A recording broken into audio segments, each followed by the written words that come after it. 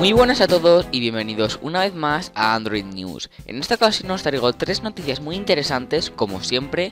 Una de ellas trata del servicio premium de YouTube, otra trata de una batería que se carga en un minuto y la última trata de un sistema de detección de obstáculos incorporado al coche autónomo de Google. Únicamente recordaros que tengo un canal de YouTube llamado Mother Henry que tendréis el enlace en la descripción y que subo tutoriales de Android y reviews de dispositivos. Así que bueno, sin más dilación, comencemos ya con las Android News. YouTube habilita un sistema de suscripción de pago. YouTube, a pesar de ser la mayor plataforma de vídeos mundial, genera pocos beneficios, o al menos menos beneficios de los que a Google le gustaría sacar. Para solucionar este problema, Google va a lanzar un servicio de pago para ver los vídeos sin anuncios, es decir, ver vídeos sin ninguna clase de publicidad. Este servicio va a ser muy similar al Spotify Premium, solo que en vez de con música, pues es con vídeos. Según Bloomberg, va a costar alrededor de los 10 dólares mensuales. Y bueno, dicen 10 dólares porque es el mismo precio que tiene el único, un sistema de suscripción de pago que tiene YouTube actualmente, que es para ver vídeos musicales sin anuncios. Este nuevo servicio podría afectar a los youtubers cuyos ingresos proceden mayoritariamente de los anuncios en sus vídeos. La plataforma ha ofrecido a los creadores un 55% de los ingresos a través de suscripciones, dependiendo de las visitas recibidas y del tiempo que los usuarios estén en sus vídeos. Estos nuevos términos de usuario entrarán en vigor el próximo 15 de junio.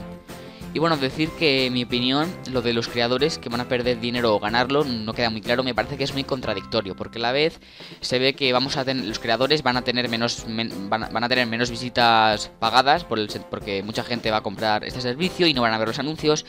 Y a la par también nos da a pensar que van a dar una parte del pastel, ¿no? una parte de lo que ganen con las suscripciones a los creadores. Yo personalmente creo que los creadores van a perder un poco de dinero con esta nueva medida, pero bueno, es lo que hay, a ver cómo salen las cosas. La Universidad de Stanford desarrolla una batería que se carga en un minuto. El profesor Dai Hagi y su equipo de la Universidad de Stanford están trabajando en un proyecto realmente prometedor, baterías de iones de aluminio, que podrían cargarse completamente en su totalidad en un minuto. Increíble, ¿verdad? Pues aún hay más. Aparte de cargarse increíblemente rápido en un minuto, como ya he dicho, también ofrecen una producción más económica, son más baratas de producir una mayor vida, estas baterías durarán más tiempo y un menor peligro de explosión, ya que las baterías normales de litio pues tienen más posibilidad de explosión. También una cosa muy curiosa es que esta batería puede ser doblada y de esta manera acomodada a distintos dispositivos. Personalmente esta noticia me ha impactado, la verdad es una noticia increíble, una batería que se carga en un minuto, teniendo en cuenta que las baterías actuales, que son de litio, pueden tardar en cargarse al 100% 40 minutos o más perfectamente y esta batería en un solo minuto. ¿Os podéis imaginar qué puede suponer esto a la producción de móviles futura? Yo aún no. Google incorpora un sistema de detección de obstáculos a su coche autónomo. Uno de los proyectos más ambiciosos de Google es su coche autónomo, un coche que se conduce solo y que Google planea tener en las carreteras en 2020. Uno de los pocos problemas que este coche autónomo puede presentar es la reacción a obstáculos. Se te cruza algún obstáculo en la carretera y quizás un humano puede reaccionar, puede frenar o puede sortear el obstáculo, pero en cambio un coche autónomo que está programado quizá no reaccione de la misma forma. Así que me pregunto qué haría un coche autónomo. Para solucionar este problema, Google ha patentado un sistema de detección de obstáculos que funciona de una forma un poco peculiar. Funcionará de la siguiente forma. Cuando el vehículo encuentre algún obstáculo, enviará una señal a un centro de asistencia dirigido o por máquinas o por seres humanos y, esta, y este sistema, este centro de asistencia le dará unas instrucciones. Por supuesto, todo esto muy rápido.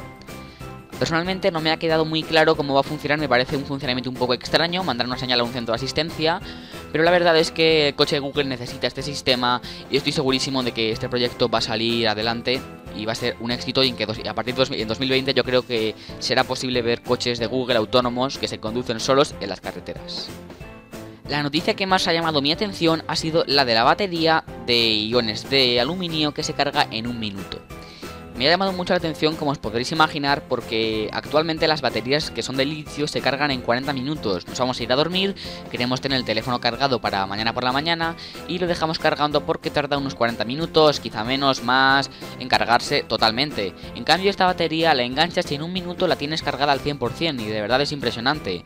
Y como ya hemos visto antes, aparte de cargarse increíblemente rápido, ofrece muchos otros beneficios, una mayor vida, eh, es más económica, es más barata y tiene menos riesgo de explosión. Parecen todo beneficios, así que yo personalmente estoy esperando a ver si la sacan al mercado, me puedo comprar una y de verdad me parece un gran progreso.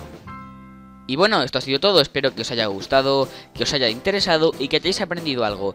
Ya sabéis que estáis todos invitados a comentar y escribir en los comentarios qué noticia ha llamado más vuestra atención y por qué.